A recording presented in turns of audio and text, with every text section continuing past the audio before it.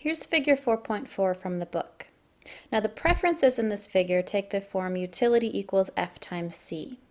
The price of food is $20 and the price of clothing is $40. So with the functional form F times C, the marginal utility of F is equal to C and the marginal utility of C is equal to F. So let's consider basket B. The marginal rate of substitution at B, we can find its expression it's going to be the marginal utility of F divided by the marginal utility of C. Looking back at our previous slide, we can plug in C over F. This is the rate at which I'm willing to give up clothing to get one more unit of F. Now, at basket B, we know what clothing and food are. 16 units of clothing and 8 units of food. Plugging that in, I can find that at B, the marginal rate of substitution is 2. This consumer is willing to give up two units of clothing to get one more unit of food. Let's calculate the slope of the budget line.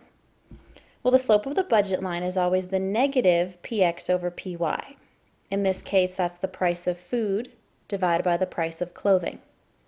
We're given that the price of food is $20 and the price of clothing is $40. So the slope of the budget line is a negative 1 half. So at basket B, we know the marginal rate of substitution is 2. That tells us the slope of the indifference curve at point B is negative 2. We know the slope of the budget line is negative 1 half. So at point B, the indifference curve is steeper than the budget line. What this means is the consumer's rate of substitution is greater than the market's rate of substitution the consumer is willing to give up two clothing to get one more food, but at the market rate, they're required to give up half a clothing for one more food.